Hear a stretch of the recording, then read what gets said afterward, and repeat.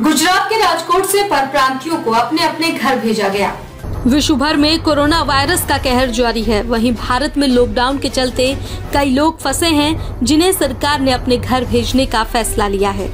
राजकोट से तकरीबन 1200 पर प्रांतियों को लेकर चली ट्रेन ने यूपी, मध्य प्रदेश, राजस्थान, बिहार में पर प्रांतियों को उतार दिया है। वहीं राजकोट से तकरीबन 1200 पर प्रांतियों को लेकर चली ट्रेन ने यूपी मध्य प्रदेश राजस्थान बिहार में पर प्रांतियों को पहुँचा दिया है।